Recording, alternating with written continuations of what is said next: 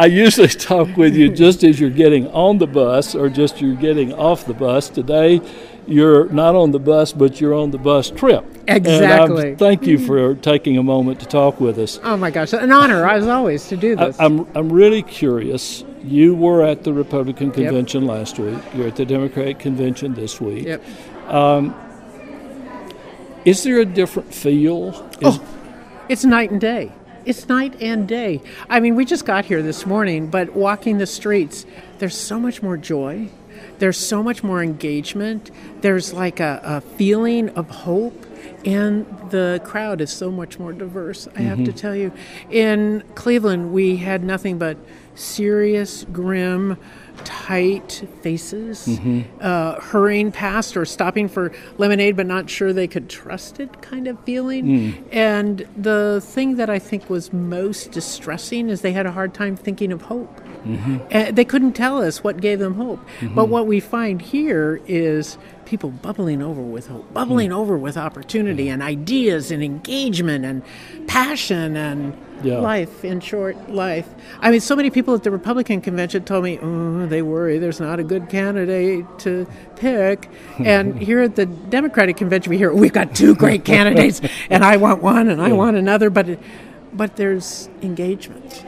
So if you, if you were orchestrating uh, this convention, what would be the most important thing you would tell them to do? Oh, uh, the thing that everybody needs to do, whether they're at this convention or not, is get engaged, mend the gaps. But people think you have to be in the political party and all the structure. No, no, no, no. We just have to talk to each other about what matters to uh, each one of us mm-hmm. in our hearts.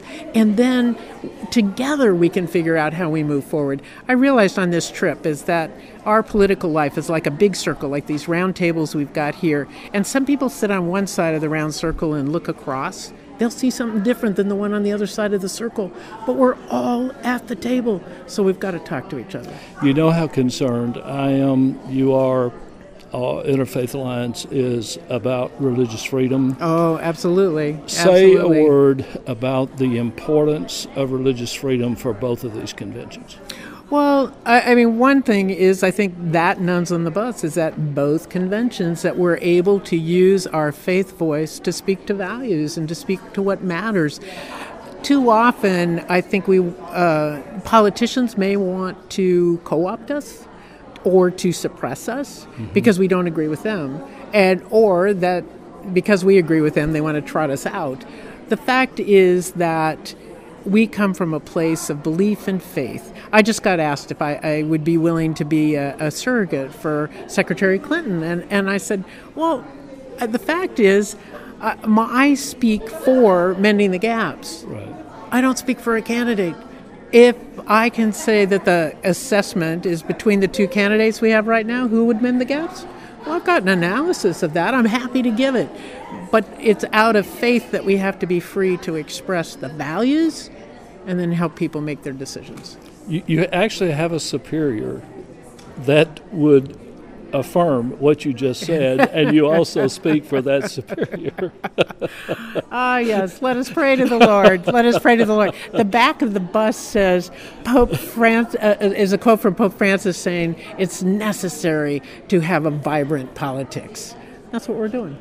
Thank you so much, Simone. Oh, you're welcome. You're great. Yeah, Thank you. Always. Really appreciate it. Thank you.